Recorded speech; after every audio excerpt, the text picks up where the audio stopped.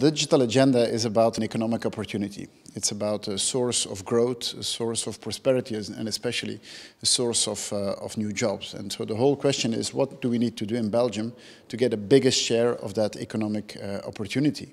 And that, what is, uh, that is what the agenda will be about. We have a number of topics we want to work on. One is uh, high-speed internet, of course. One is to um, help uh, web shops and other to be more uh, competitive. Another one is about uh, digital skills.